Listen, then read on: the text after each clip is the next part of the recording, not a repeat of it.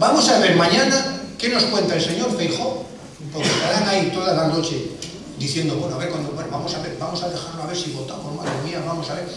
A ver cómo me explica lo del señor ese secretario general del PP de Galicia, que dice que hay que ir a los buzones, abrir el del vecino y si tiene el de la banderita ese sobre, lo coges, lo rompes y lo tiras a la basura. ¿Pero qué dice?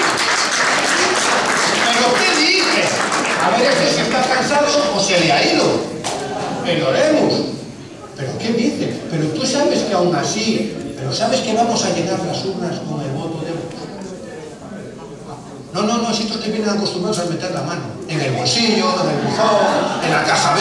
Estos vienen acostumbrados. Eso de meter la mano les viene muy bien.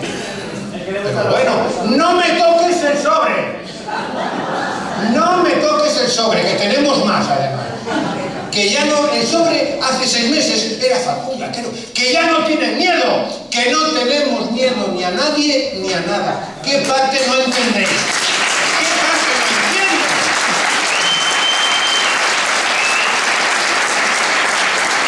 no veremos el domingo. Veremos cuando a las mesas, veremos que llegará gente y dirá, ¡ay, caray!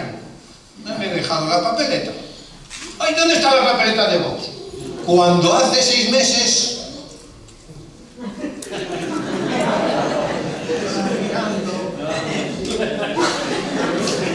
no la encontraban porque nos habían puesto encima las de Ciudadanos, la de PNG, la otra, no las encontraban, claro. Pero por no pedir, pues esta es la misma de esta.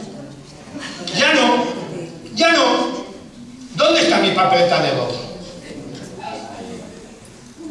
porque ahora tendremos más apoderados gracias a la cantidad de voluntarios que han venido, podremos tener más presencia y sobre todo porque ya no tenemos miedo.